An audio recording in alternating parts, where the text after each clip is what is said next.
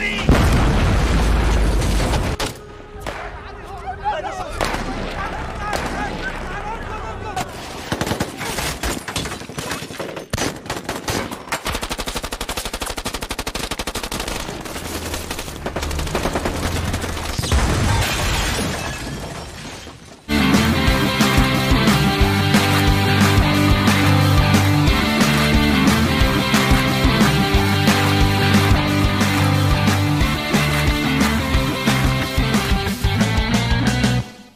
Kali ini Mimin bakal coba ulas film yang diangkat berdasarkan kisah nyata.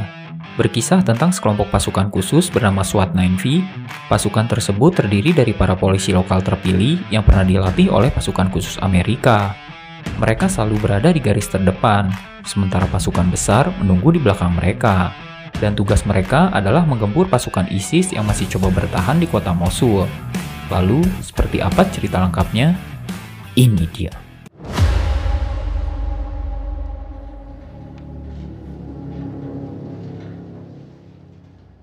Berlatar di kota Mosul yang merupakan kota terbesar kedua di Irak. Kondisi kota nampak hancur berantakan setelah bertahun-tahun menjadi medan pertempuran. Sin kemudian berpindah pada dua orang polisi lokal yang terlihat bertahan mati-matian dari serangan anggota ISIS atau yang biasa mereka sebut Daesh. Para Daesh menuntut agar si polisi segera membebaskan rekan mereka yang ditahan.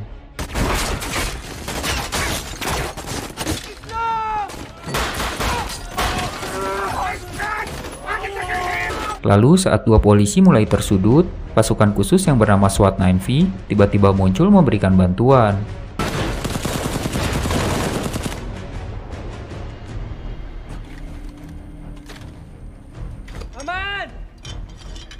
Pasukan tersebut dipimpin oleh seorang mayor bernama Jasim, dan tanpa basa-basi, ia memerintahkan seorang bawahannya untuk mengeksekusi tiga anggota Daesh yang tertangkap.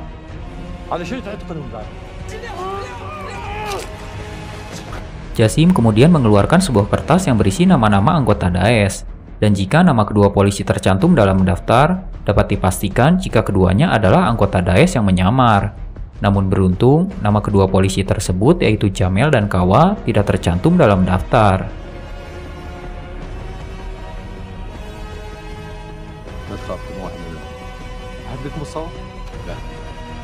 Paman Kawa harus tewas dalam serangan barusan, dan karena hal tersebut, Kawa dipaksa bergabung dengan para anggota SWAT. Sebab SWAT 9V hanya berisi orang-orang yang pernah disakiti atau memiliki dendam khusus kepada para anggota Daesh. Singkat cerita, Kawa bersedia bergabung dan mulai bersiap. Sementara Jamel diminta membawa jasad paman Kawa untuk dimakamkan.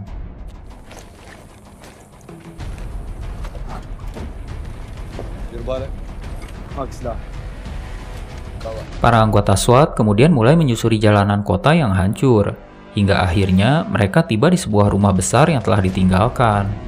Lalu, usai memastikan kondisi aman terkendali, mereka memutuskan untuk beristirahat sejenak di tempat tersebut.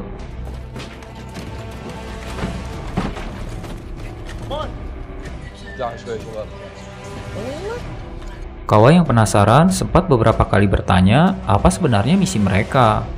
Namun tak seorang pun bersedia memberikan jawaban. Jasim juga terlihat membagikan uang hasil jarahan dari para Daesh sebagai imbalan bagi para anggota SWAT.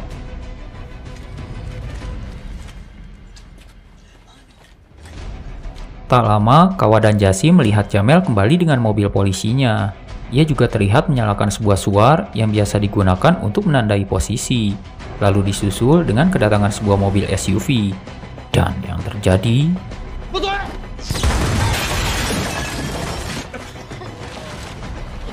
Satu anggota SWAT tewas karena serangan bom mobil, dan Kawa sempat disalahkan atas kejadian tersebut.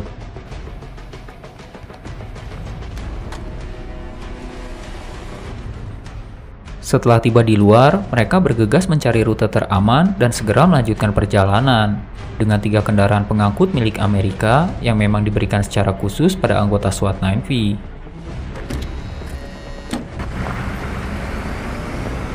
Di tengah perjalanan, mereka bertemu dua orang kakak beradik yang sedang membawa jasad sang ibu dengan sebuah gerobak. Karena iba, Jasim meminta keduanya untuk bergegas naik. Namun si kakak menolak, karena ia telah bersumpah akan memakamkan jasad sang ibu dengan layak. Hingga dengan terpaksa, Jasim hanya membawa sang adik dan bergegas pergi.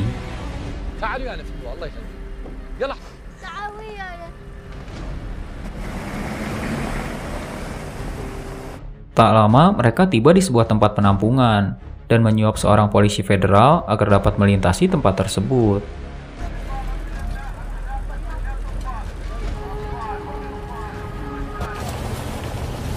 Di sana, Jasi menitipkan anak yang ia bawa pada seorang pengungsi. Ia meminta mereka untuk merawatnya sambil memberikan uang. Sementara di tempat lain, beberapa orang lainnya menitipkan jasad rekan mereka untuk dimakamkan. Dan setelah melakukan semua hal tersebut, mereka bergegas melanjutkan perjalanan.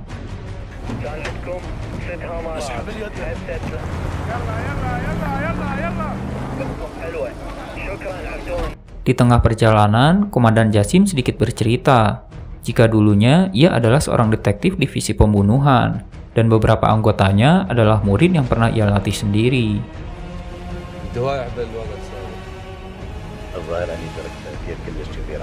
Kawa masih terlihat penasaran tentang apa sebenarnya misi mereka. Seorang tentara kemudian memperlihatkan sebuah video eksekusi mati yang dilakukan oleh para Daesh dan berkata jika itu adalah kakak dari teman mereka yang baru saja tewas. Dari sini, Kawa mulai menyimpulkan jika tujuan utama para anggota SWAT adalah membalas dendam. Belum jauh dari zona aman, beberapa anggota Daesh menembaki warga sipil dengan membabi buta. Dan lagi-lagi, satu anggota SWAT harus tewas di tangan penembak itu.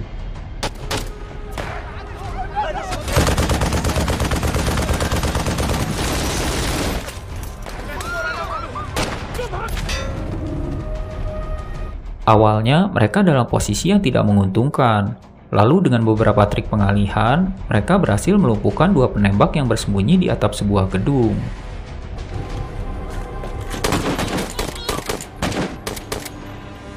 Dari atap gedung tersebut, Walid berhasil menemukan dua tempat yang diyakini sebagai pusat komando pasukan Daesh. Yang pertama merupakan tempat berkumpul, sementara satunya lagi adalah sebuah gedung dengan antena satelit. Ia mulai berdiskusi dengan Komandan Jasim tentang tindakan apa yang harus dilakukan, sementara beberapa pasukan terlihat menjalankan ibadah sholat.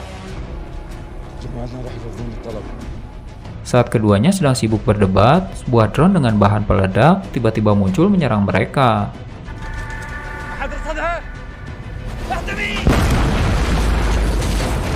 Lalu saat drone kedua datang, mereka mendapatkan bantuan, yang ternyata berasal dari pasukan khusus Iran.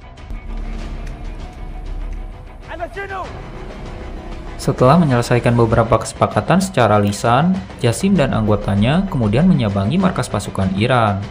Mereka bersepakat untuk melakukan barter beberapa slop rokok dengan amunisi. Kolonel Asfahani yang memimpin pasukan Iran awalnya meminta tiga slop rokok untuk satu peti amunisi. Namun Jasi menolak. Ia ingin satu peti amunisi untuk setiap slopnya. Asfahani setuju namun dengan satu syarat. Jasi mau membantunya mengenali beberapa tawanan yang baru saja ia tangkap. Dan ternyata salah satu tawanan tersebut adalah Jamel.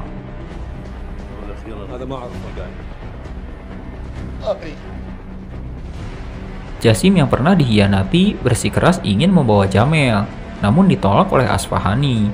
Jamel yang ketakutan beralasan jika ia terpaksa melakukannya karena Daesh mengancam akan menyakiti keluarganya. Situasi saat itu semakin tegang karena tak satu pun dari mereka mau mengalah. Lalu tiba-tiba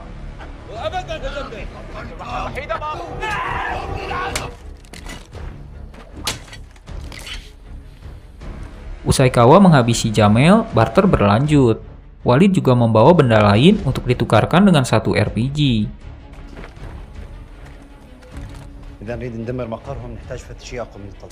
Belum lama melanjutkan perjalanan, sebuah barikade terlihat melintang di tengah jalan menghalangi kendaraan yang mereka naiki. Sampai kemudian...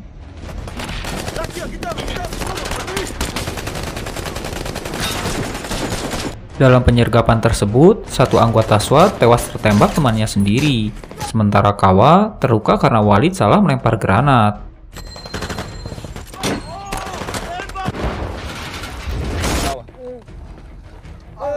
Mereka kemudian mulai menyusuri gang-gang sempit, hingga akhirnya tiba di sebuah ruangan, dan lagi-lagi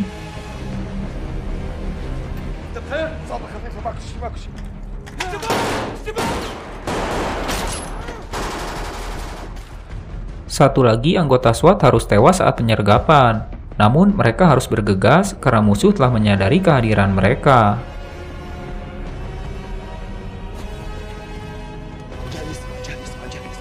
Mereka kembali menyusuri gang-gang sempit, hingga akhirnya tiba di seberang markas musuh.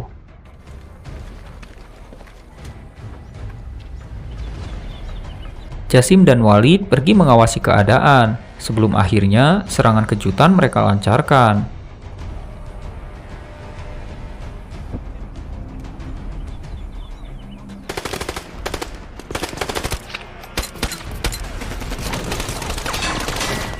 Usai menyudutkan musuh, mereka bergegas menuju tempat yang diduga sebagai pusat komando anggota Daesh.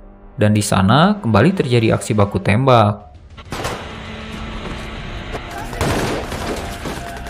Usai mengamankan lokasi penyergapan, mereka beristirahat sejenak. Jasim juga tak sengaja menemukan tumpukan majalah dewasa dan berniat membuangnya. Namun saat keranjang diangkat,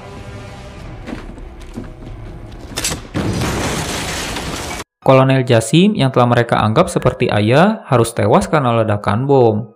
Dan karena hal tersebut pula, semangat tempur para anggota SWAT mulai hilang. Namun Kawa coba meyakinkan teman-temannya jika misi harus berlanjut, walau ia sendiri tidak tahu pasti apa misinya. Namun ia yakin Komandan Jasim pasti juga menginginkan hal tersebut.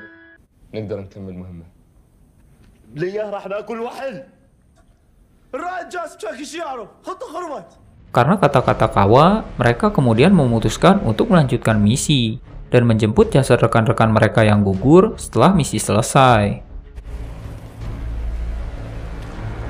Tak lama, mereka tiba di sebuah gedung yang diduga sebagai pusat komando lain para anggota Daesh.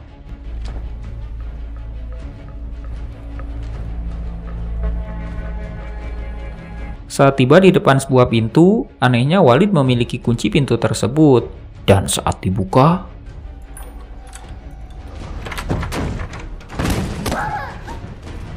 rumah tersebut ternyata milik Walid sendiri, dan misi mereka adalah menyelamatkan keluarganya yang sebelumnya disandra dan diperbudak oleh para anggota Daesh.